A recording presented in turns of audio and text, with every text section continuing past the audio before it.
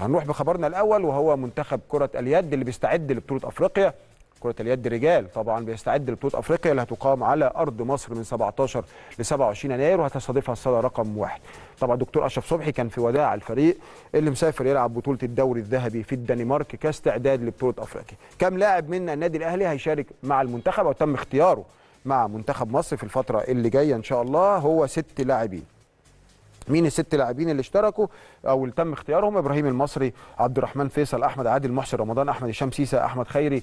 دول اللي كان ليهم آه، الشرف ارتداء قميص النادي آه، قميص منتخب مصر في بطولة الدنمارك اللي جاية إن شاء الله أو الدوري الذهبي في الدنمارك في الفترة من 2 يناير وحتى آه، 8 يناير. وده تشكيل المنتخب طبعا اللي مسافر بإذن الرحمن.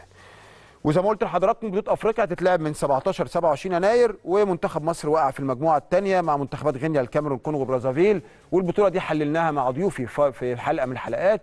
والمتوقع لهذه البطولة نهائي مبكر في قبل النهائي مصر وتونس. هيكون في قبل النهائي. ما كنتش أتمنى ابدا إن إحنا نقع قصاد بعض في قبل النهائي ولكن ما فيش مشكلة إن شاء الله آه، منتخب مصر يتخطى عقبة منتخب تونس العنيد ونوصل إلى المباراة النهائية عشان بطولة العالم إن شاء الله تبقى من نصيبنا بإذن الرحمن.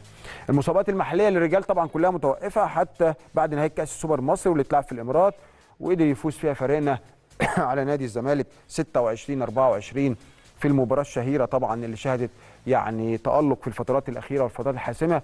والحقيقة ده اللي كان بقى بيميز الفريق الجديد. اللي بقى بيميز فريقنا دلوقتي إنه يستطيع إنه يفوز في الثواني الأخيرة. كان دايما عندنا مشكلة ألا وهي إنه دايما في ال- في الدقيقة الأخيرة كان فرقتنا دايما بتخسر المباريات. ولكن بعد اكتساب هذه الخبرات مع وجود طبعا المدير الفني آه، مستر ديفيد ديفيد يعني راجل على الخط يعني ليه خبرات كبيرة فكان بيساعد الفريق بشكل كبير استطاع إنه بقى يخوف في آخر دقيقة. بقى دايما ممكن يكون متأخر ويفوز. بقى اللي إحنا كان بيتعمل فينا أصبحنا بنعمله في الفرق. إن إحنا نستطيع الفوز في آخر دقيقة وده بيدل على خبرات تراكمية اكتسبها هذا الفريق في سن صغير. نتمنى كل التوفيق إن شاء الله لهذا الفريق آه، في آه، البطولات القادمة بعد استئناف إن شاء الله آه، الدوري. ونتمنى لمنتخب مصر الفوز في بطولة أفريقيا القادمة بإذن الله.